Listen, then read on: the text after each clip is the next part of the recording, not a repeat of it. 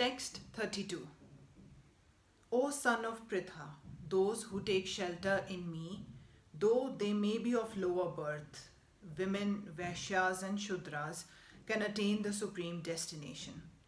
It is clearly declared here by the Supreme Lord that in devotional service there is no distinction between the higher and lower classes of people.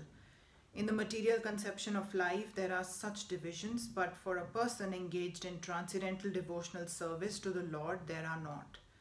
Everyone is eligible for the supreme destination.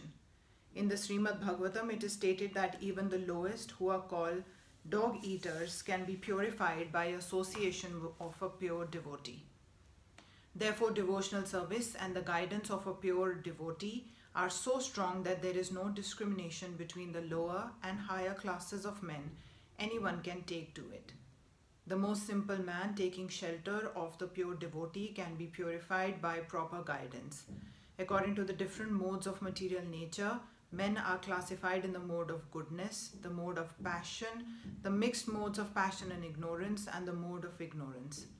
Those lower than them are called kandalas, and they are born in sinful families.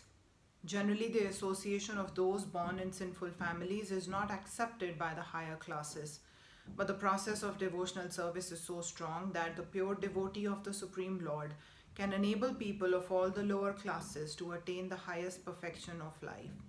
This is possible only when one takes shelter of Krishna. As indicated here by the word Vyapashritya, one has to take completely shelter of Krishna. Then one can become much greater than great Jnanis and yogis.